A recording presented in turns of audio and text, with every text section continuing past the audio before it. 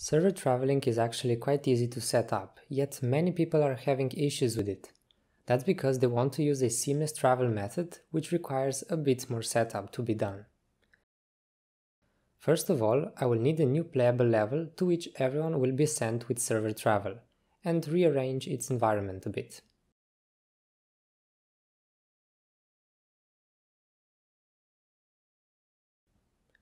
A non-seamless server travel can be easily done in any blueprint, you just have to make sure the command is run by the server. I'll be calling it in my game mode GM tag at the end of the round to travel to the next level instead of going to the main menu. Make a new custom event called travel2 with a string input parameter for the name of the next level.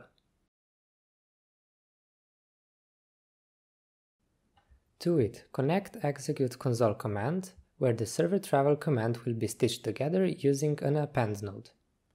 The first part of the whole is the server travel command with a space at the end.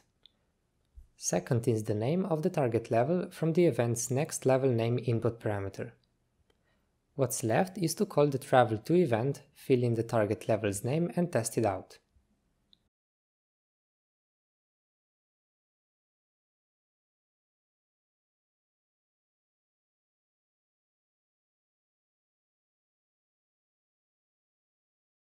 Two seconds after timer hits zero, it should start loading the new level and after a few more seconds also send all the players there. There is a much better way of doing this though, and that's using a seamless travel option that can be enabled in the game mode that's calling the server travel command. But this isn't going to work yet, and that's because we're missing a transition level, which is a temporary level where all players will be sent to while loading the target level. This is especially useful when you're traveling between two large levels, releasing the old one from the memory first and then loading the second one in while waiting in the transition level. To set it up, go to Project Settings, Maps and Modes, and select your transition map. Seamless travel also won't work if we run two regular editor windows for playtesting and can only be done in standalone so set number of players to 2 and launch the game in standalone from the main multiplayer menu.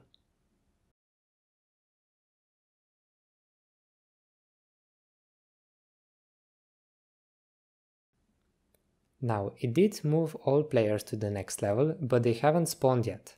Let's take a closer look at the spawn logic in the game mode GM tag.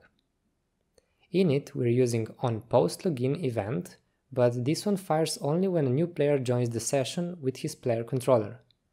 Because of that, we'll be switching to the handle starting new player event, which gets called when a new player joins even on server travel.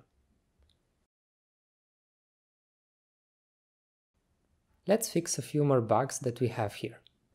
The first one is that we aren't immobilized at the start of a new round. Things get a little bit weird here, because unless you're making a local multiplayer game, you shouldn't have problems with getPlayerController function, since there's only one player at index 0 locally. Take a closer look at its usage from previous tutorials in the third-person character blueprint at begin play. Server for some reason right after server travel returns not his player controller, but the clients using that function.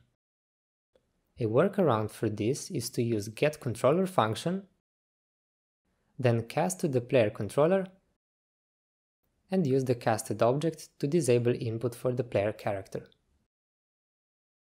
Then we must get rid of that win-lose widget from the first level that persists during server travel.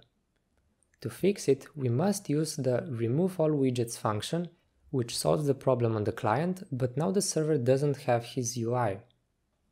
Remove all widgets targets the local player and the server executes it for himself first.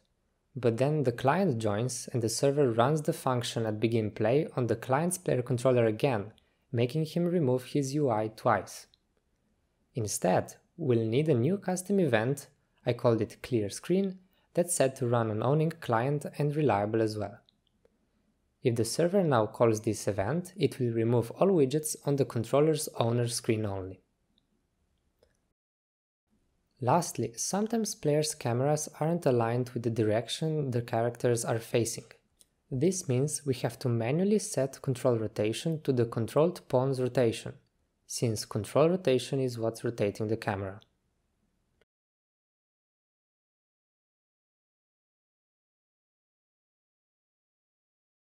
And that's it. I hope server travel won't bother you as much anymore and see you in the next video.